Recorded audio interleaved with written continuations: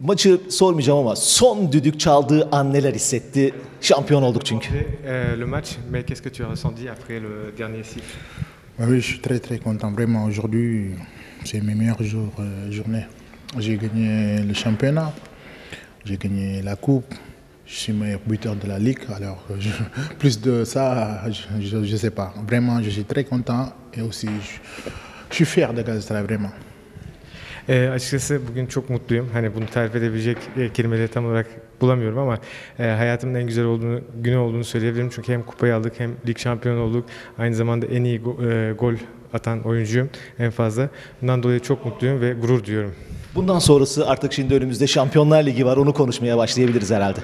Champion, euh, Ligue des Champions, donc on va parler de ça. Qu'est-ce que tu veux dire Ouais, Ligue des Champions, c'est un rêve pour moi. Et je pense que tous les jeunes veulent jouer à Ligue des Champions. Pour le moment, on va aller préparer. J'ai la Cannes qui m'attend. Coupe d'Afrique et aussi je vais reposer un peu et préparer la Cannes. Et pour la Ligue des Champions, on est déjà qualifié pour la Ligue des Champions. On verra la prochaine année. On vient, on se prépare bien mentalement, physiquement. Voilà, Ee, tabii Şampiyonlar Ligi açıkçası bir hayal. Ee, ancak e, ona da hazırlık süreci var. Tabii bu da bir süreç. Ee, bunun öncesinde e, gidip Afrika Kupası'nda oynayacağım. Ee, sonrasında geri döneceğim. Biraz dinlenmem gerekiyor. Ondan sonra takımla beraber hazırlıklar var. Ve gelecek sene ne olacağını göreceğiz. Teşekkürler. Messi.